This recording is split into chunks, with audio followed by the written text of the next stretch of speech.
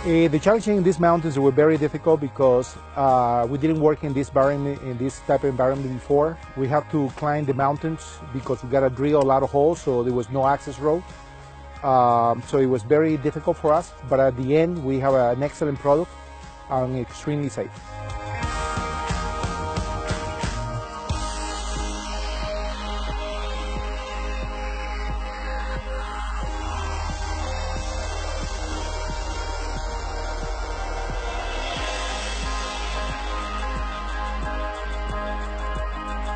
This, in this project, we not only use the top technology and cables and equipment, also we use also the top people in order to build this, because not that many people have the experience building this type of cables in the world.